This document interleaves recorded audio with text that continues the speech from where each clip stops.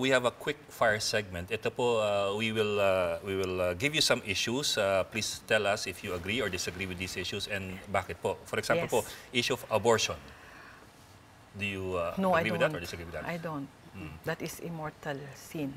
What about federalism? Napag-usapan na rin lang yung BOL. Sa tingin niyo po ba kailangan pa ng federalism kayong meron ng BARM?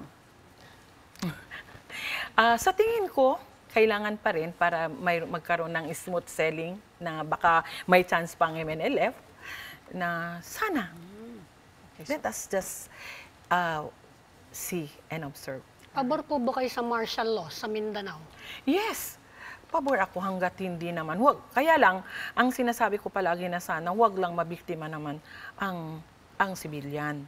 Kasi la- laging biktima ang sibilyan. Kaya sinasabi ko sa mga military na sana, yung tunay talaga na, na mga lawless elements lamang ang i-operate nila. Okay, sabi ni Pangulong Duterte nung meeting niya kay Mahathir, eh, baka ah, subukan niya ulit na bawiin ang Saba, no?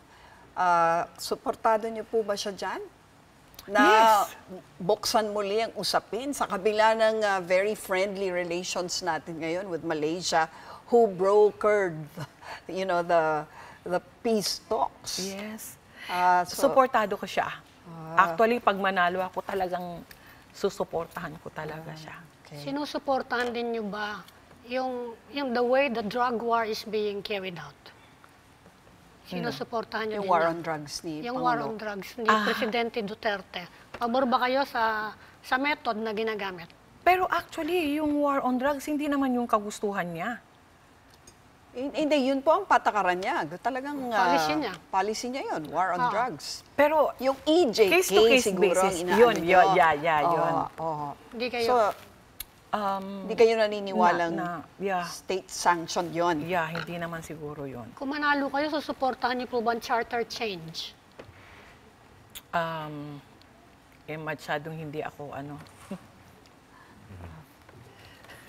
Ah, okay. Uh, m- well, uh, ma'am, uh, we'll, paubos na ang oras natin. We'll give Okay. you a few more seconds na lang. Uh, so mga last 20 seconds para gusto magbigay ng pahayag sa inyong mga constituents. okay, sige, thank you. Briefly lang po. Okay, Assalamualaikum warahmatullahi ta'ala wabarakatuh mga maastay manghud ko, kalasahan ko, malasaka ko, bihaon na waktu, tabangan niyo ako, kumaput kita niyo si Pug, ang buok da kandidato um, Senado, amuin limingkod bihaon, susuportahan ako sin katan, amuin misan ah, ini Luzon, Visayas at sumusuporta sa akin ngayon.